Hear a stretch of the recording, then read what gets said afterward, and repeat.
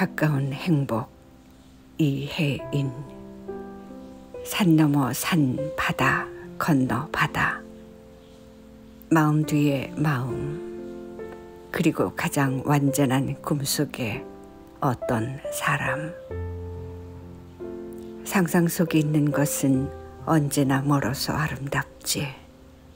그러나 내가 오늘도 가까이 안아야 할 행복은 바로 앞에 산, 바로 앞에 바다, 바로 앞에 내 마음, 바로 앞에 그 사람.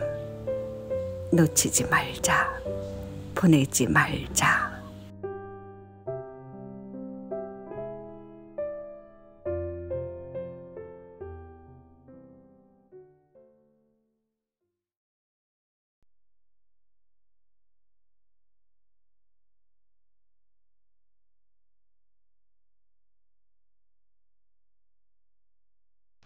인생은 구름이고 바람인 것을 이해인. 누가 날더러 청춘이 바람이냐고 묻거든. 나 그렇다고 말하리니. 그 누가 날더러 인생도 구름이냐고 묻거든. 나 또한 그런노라고 답하리라.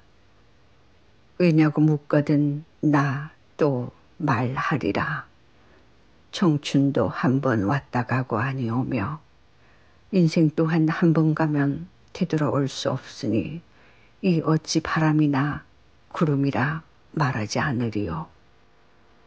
오늘 내 몸에 안긴 겨울바람도 내일이면 또 다른 바람이 되어 오늘의 나를 외면하며 스쳐가리니